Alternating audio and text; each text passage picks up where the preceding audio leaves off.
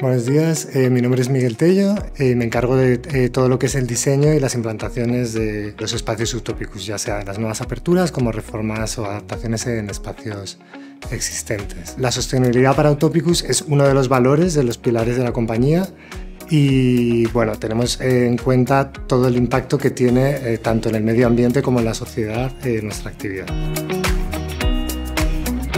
Bueno, a la hora de diseñar los espacios utópicos eh, tenemos en cuenta eh, varios factores, teniendo en cuenta siempre como la sostenibilidad. ¿no? Por una parte, eh, lo que es la, eh, biofilia, eh, a la hora, bueno, pues tener como esa experiencia directa con la naturaleza, en el caso como edificios en Paseo de la Habana, que tenemos la vegetación natural, en espacios que no te prestan, pues es una experiencia indirecta que puede ser eh, con las texturas, tramas que te recuerdan a la naturaleza, el uso de madera o materiales naturales, y luego pues también con la forma de espacios que te evocan a, espacios propios de la naturaleza, ¿no? Por ejemplo,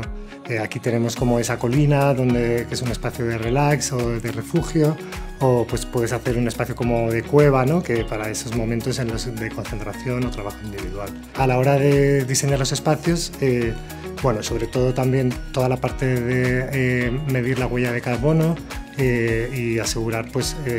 todo el tratamiento de residuos que se generan en nuestros espacios. ¿no? Por ejemplo, en Utopicus no tenemos eh, papeleras dentro de las oficinas, eh, nuestro personal de limpieza no recoge las papeleras que hay dentro de las oficinas, tenemos esos eh, puntos de reciclaje eh, los que separamos pues, los residuos, vidrio, papel, eh, plástico, cartón, resto orgánico, no orgánico. Y aparte, pues, bueno, hemos implantado un protocolo de pesaje de residuos en el que eh, pues, al final del día el personal de limpieza puede pesar lo que se ha reciclado cada día y con esto pues, podemos calcular la huella de, carbono. También a nivel de sostenibilidad pues, tenemos en cuenta el transporte, pues en todos nuestros edificios tenemos parking de bicicletas o de patinetes o en edificios de colonia que, hay las cargas para eh, vehículos eléctricos. Otros factores de sostenibilidad, eh, pueden ser el well-being, ¿no? pues, eh, pues, por ejemplo, incorporamos en los espacios fuentes de agua purificada, que bueno, pues yo eso recomiendo siempre tener su botellita de aluminio, ¿no? que al final te ayuda además a tener el agua fresca y pues bueno, es un, punto que nuestros clientes valoran, valoran mucho. Otros de los factores que tenemos en cuenta a la hora de proyectar nuestros espacios es que contamos con el apoyo de eh, nuestra consultoría de sostenibilidad, eh, con lo cual con los arquitectos con los que vamos a trabajar previamente les pasamos una guía de proveedores homologados y son eh, aquellos materiales que ya cumplen las ISOs en las que cumplen las políticas de sostenibilidad del grupo. Y también con las contratas principales, pues ya sea para una nueva implantación, que es lo que llamamos alcance 1, pues hacer toda la trazabilidad de todos los residuos, demoliciones, materiales que se emplean, eh, que se tienen que eh, aportar luego toda esta documentación. Esto es lo que llamamos alcance 1 y alcance 2 serían pues, reformas o intervenciones que hacemos a posteriori en nuestros espacios, en las que también se hace este seguimiento medioambiental, en el que hay que entregar el reporte de eh, todos los materiales utilizados y el tratamiento de residuos. Uno de los sistemas que implementamos también a la hora de proyectar los espacios utópicos y que no son muy útiles a la hora de, gestionar los espacios posteriormente es el BMS.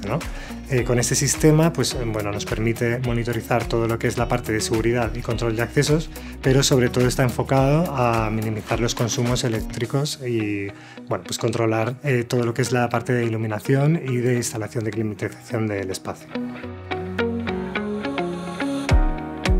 Bueno, el caso de Utopicus Habana era eh, un, edificio muy particular porque suponía la unión de dos edificios, un antiguo centro de negocios y este espacio que era un atrio de un antiguo centro comercial que llevaba sin uso más de 20 años. A la hora de hacer la reforma intentamos aprovechar lo máximo existente en, en el espacio. En este caso, pues aprovechamos, por ejemplo, la estructura, lo que es la forma del atrio era existente. Intentamos que las demoliciones fueran pues las mínimas posibles para aprovechar el espacio